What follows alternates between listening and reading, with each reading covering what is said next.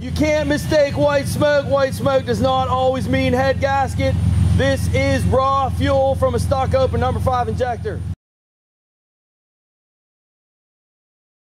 Hey guys, ScannerDanner here. We are excited to bring you this new series of us taking older YouTube videos, cutting them down to more manageable pieces, where the idea is we can take highlights of testing methods and procedures that can be applied to all cars across the board. And of course, we'll bring you the fix too. Enjoy this video. 2001 Dodge Grand Caravan with a 3.3 liter engine, setting a number five injector control circuit trouble code. Okay, I have two injector control wires identified. Right now I'm gonna use uh, the number one up top right here as a known good to show you what a known good one should look like. And then this is my number five. Okay, this is the number one injector voltage waveform. You see right here, this is battery voltage, about 14 volts, nice clean line to ground.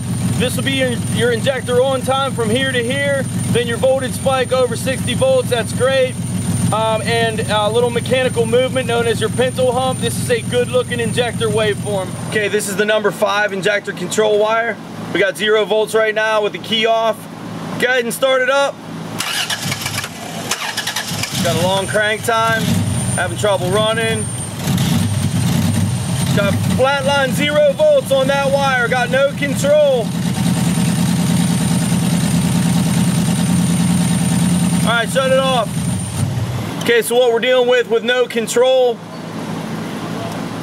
is either a short to ground on the control wire, a shorted driver, or we have an open circuit. And uh, I wanna show you that this injector is actually on all the time based on the smell of the exhaust and the amount of smoke and the color of the smoke coming out of the tailpipe. Hey, white smoke, what everybody says will be a bad head gasket. This has a number five injector that is stuck open. This is what raw fuel looks like coming out of the tailpipe. Go ahead, let it idle. You can't mistake white smoke. White smoke does not always mean head gasket. This is raw fuel from a stuck open number five injector. Okay, so based on the tailpipe emissions, the amount of smoke, the smell of the raw fuel, this injector is definitely on all the time, so that leaves us with two options with this zero volt signal. An open circuit is not one of them. What we're dealing with is either a short to ground on the control wire or a shorted PCM driver for this injector. And if this was an injector that I could get to and unplug, we would address it at the injector using a test light.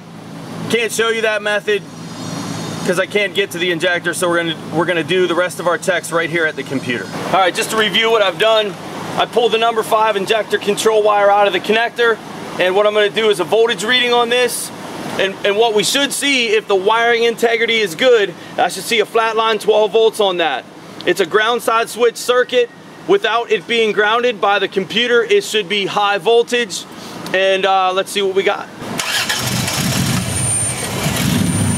still got zero volts on that wire I should have 12 volts right now if that was a good circuit and a bad computer.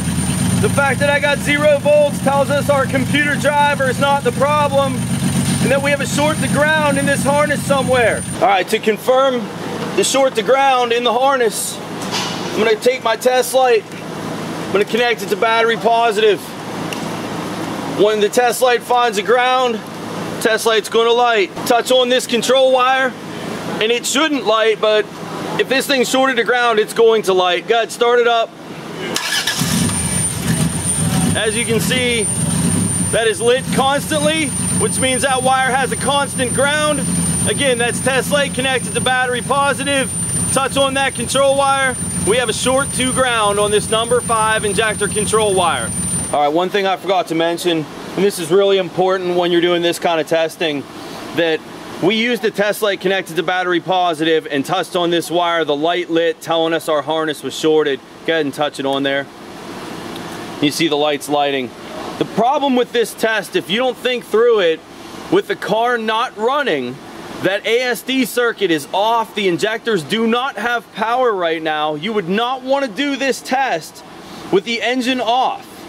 Because with the engine off, there's no power, and it's going to backfeed. That test light will backfeed through the circuit and it will find a ground through the circuit. Engine must be running to use this test. We found our short to ground and it is on the injector harness side of the connector. These are known for this. They, it sits right by the exhaust manifold and it gets real hot and deteriorates the wires. I think oil leaks on these too and it will do that. And look at this harness. It's completely destroyed. All these wires are touching each other. This would explain our injector number five that was shortened to ground. Bad harness. Computer's fine. So it's gonna have to have the intake manifold removed and have this harness replaced that sits under the manifold. It goes to the injectors, goes to a couple sensors. Number five injector control wire, short to ground. Thank you for watching. I hope you enjoyed the highlights of this case study.